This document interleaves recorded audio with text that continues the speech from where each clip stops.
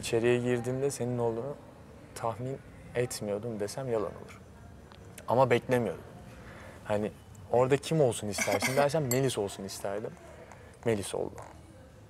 Hani e, Cansel'den çok Melis'in Arkadaşlar olmasını şaşırdı istiyordum. mı? Aslında bir o falan oldular. Ama en çok şaşıran bendim.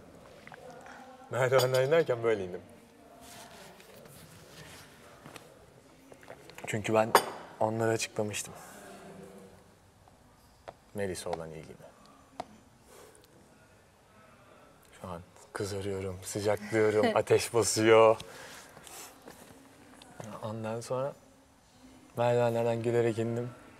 Sordular. Daha çok zaten Emre ile Serhan'la bu tarz şeyleri paylaşıyorum. Çünkü biz daha yakınız diğerlerine göre. Eser de işte yakın ama Eser biraz daha canı sıkkındı. Kenarda kendini çekmişti. Tank top bir şeyler yapıyordu.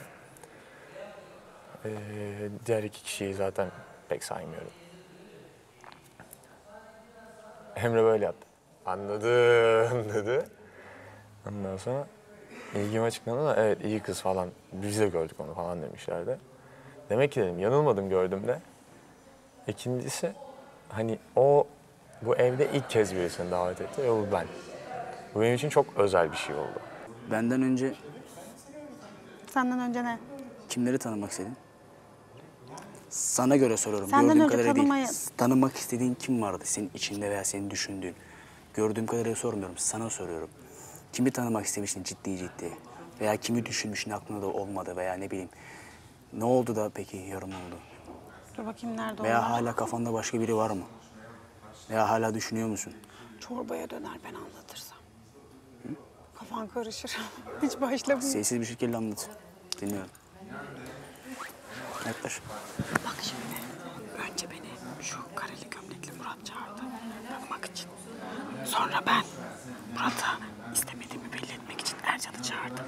Bütün gün evde Ercan'la beraberdik. Bir şeyler yedik içtik. Ertesi gün oldu. Ondan sonra işte Seda Hanım dedi ki sen dedi daha ilk dedi. Şey dedi aklında kim vardı falan dedi. Niye onu dedi, tanımak istemiyorsun dedi. Sonra işte bir gün masadaydık işte kahvaltı ediyorduk. Kızlar dedi bir Tankut'un oğlu var dedi. Şimdi benim de kız var ya. Dedim bir Tankut'u çağırayım. Bir Tankut'u da dedim hani oğlu varmış bir konuşayım bakayım nasıl biriymiş dedim. Çağırdım ve onunla konuştum. O son oldu ilk ve son. Sonra konuşamadık. Ondan sonra daha ilk en ilk dersen gözüme çarpan oturmasıyla kalkmasıyla bir erdem olmuştu. Onda da çok yanılmışım. Müthiş derecede insanların arkasından kötü konuşan biri. Hani bir bayanın arkasından bile atıp tutabilecek karaktere sahip. Sonra onu öyle çözdüm. Şu an hiç kimse kalmadı. Serhan'ı asla kategoriye sokmadım. Emre'yi de mesela hiç öyle bir şey düşünmedim. Şey, eser geldi zaten belli ne oldu. Neden peki? Bilmiyorum. Onları düşünmedim. Üçünü mü? Ya anca sıra geliyor herkes. Şimdi sen geldin arada sen varsın şu an. Senle konuştuk dün işte. Ya şu an bakıyorum karşımda bildiğim bir prenses var sanki. Ya, teşekkür ederim. Saçların çok güzel. Gözlerin, burnun, ağzın, dudakların, gülümsemen. Ben ne dedim biliyor musun? Bana dediler ki işte eee Daniela böyle böyle şey yaptı. Umudundan vazgeçer misin? Ya zaten bir umut yoktu. Ben orada tanımaya çalışıyordum. Ama söylediğim bir laf vardı. Bazı kadınlar dedim saatlerce makyaj yapar. Bazıları sadece gülümser. Sen bu gülümseyenlerdensin. Teşekkür ederim.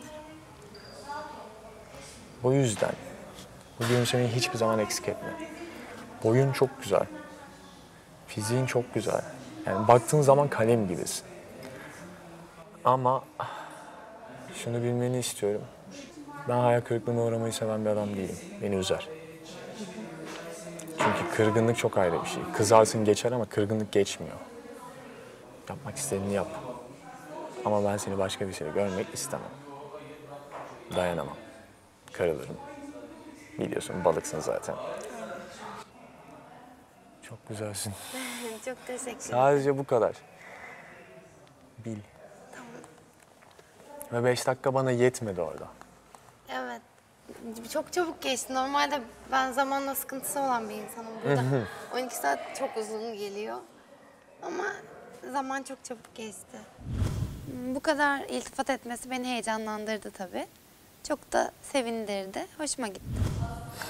İlgimi çeken bir şey daha var. O olacak mı olmayacak mı onu merak ediyorum. İlerleyen günlerde göreceğim onu. Neymiş söyle. Tamam.